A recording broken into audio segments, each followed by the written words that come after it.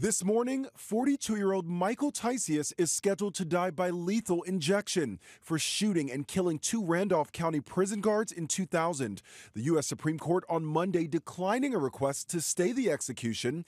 Tisius' case garnered national attention with several groups signing petitions asking the governor to grant him clemency. Similar to so many people, abuse and neglecting his life led him to be very, very, very vulnerable. Tisius was 19 years old at the time of his conviction, and his attorneys have argued he had a troubled childhood and was homeless in his early teen years. His execution was delayed last week after his attorneys claimed a juror in his 2010 resentencing hearing could not read or write English, which is a requirement for jury duty. And several jurors and alternates from that trial also signed an affidavit saying they would not object if the state's Republican governor commuted the sentence to life in prison instead of death.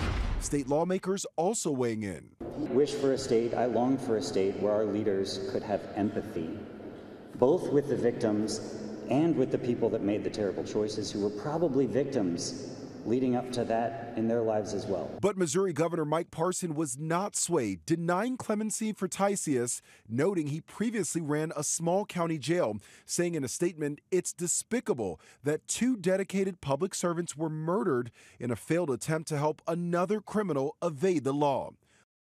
Tisius will be the third person in Missouri to be executed this year. In 2018, the American Bar Association urged jurisdictions to prohibit the death penalty for anyone who was 21 or younger at the time of the offense.